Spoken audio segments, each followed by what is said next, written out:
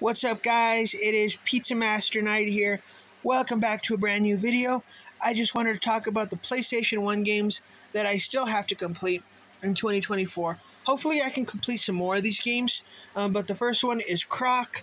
I got to the very last level and there was this like rolling platform that I just could not get past. Um, Pac-Man World. This game was lame. I don't want to beat this game. This is probably going to be the ones, one of the ones that I never beat. Um, this game was an extremely hard game, and it has some of the worst controls in PlayStation history, in my opinion.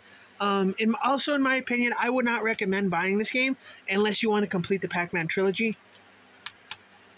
A Bug's Life. This was oddly like for a Disney game. I expected this to be very easy, um, which it kind of was. The combat was kind of easy, but um, it was very confusing. Like there's a lot of things he just didn't tell you. Bubsy 3D. I will probably not finish this one either because of the difficulty of it. Um, this was a really, really hard game. I got to like level 4, level 5, and I just could not get past that. Um, yeah, like there, there was this one level I just couldn't get past it. It was really, really hard. This is kind of, this is kind of, in my opinion, one of the most disappointing PS1 games because it had the really, really, like, it had the potential to be a very good game if the controls were better. And it's even widely known for having some of the worst controls. But I mean, overall, everything else is I really enjoyed this game. Gex 3 Deep Cover Gecko. This is one of my favorite games. It's just it's very very difficult and very very like drawn out. Um, maybe someday I'll I'll complete it. Crash Bandicoot Warped. Um, this game it was a similar situation to uh, to Croc, I got to the very final boss, and I just, I don't know why.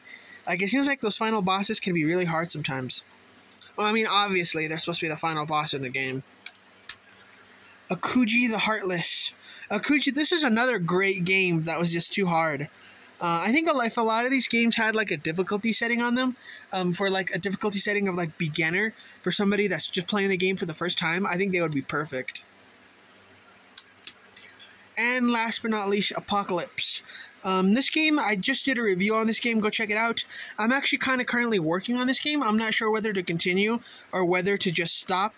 Because um, I do want to play some other games as well. I don't want to spend all my time stuck on one part of Apocalypse. I'd rather, you know, play something else.